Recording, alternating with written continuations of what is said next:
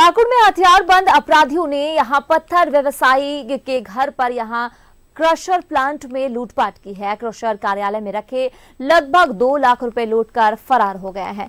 चार बाइक सवार हथियार बंद अपराधी क्रशर प्लांट पहुँचे। वहाँ पर मौजूद मुंशी को बंदूक दिखाकर अलमारी में रखे दो लाख रुपए लूट लिए हैं। जानकारी मिलने पर पुलिस घटनास्थल पर पहुँची और छानबीन शुरू कर दी है। सीसीटीवी फुटेज को भी खंगाला जा रहा।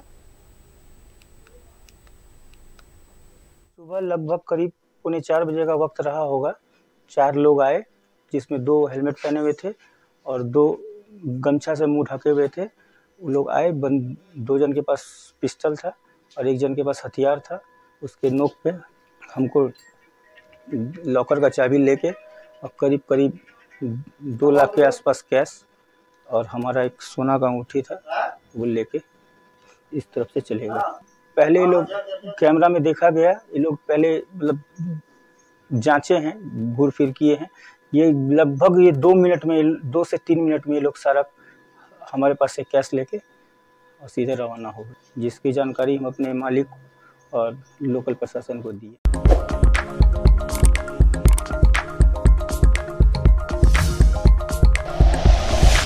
Like and share videos, subscribe करें हमारा चैनल और प्रेस करें बेल आइकॉन। न्यूज़ 11 भारत। सच है तो दिखेगा।